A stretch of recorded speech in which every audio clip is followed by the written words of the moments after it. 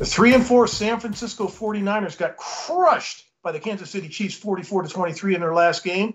They're a point and a half favorite at the Rams. The Rams are three and three coming off a bye. The Rams are having major issues with their running game and their offensive line, but they're finally getting their center back, which is one of the pieces that they need.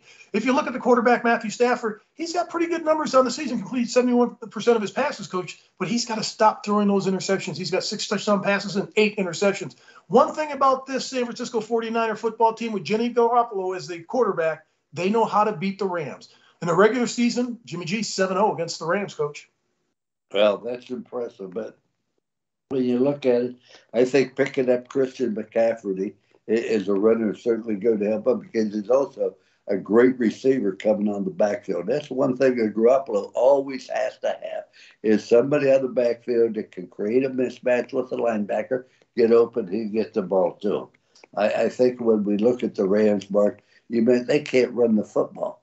I, I mean, 3.4 yards per rush isn't going to do it. Not only that, they have been sacked 22 times. A quarterback can't get. You think of all the pounding and the poor Stafford has taken, being sacked 22 different times.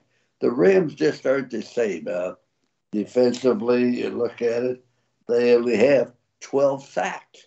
They only have 12 sacks. They're giving up 22. That's a big difference. You can't win with that difference. And because of that, I think the 49ers win 27 to the Rams 24. And had I known what uh, Garoppolo's record was against the Rams during the season, I would have justified why I picked him. But I did it before I knew that, Mark. I do like the Rams in this football game. Aaron Donald's getting double and triple team.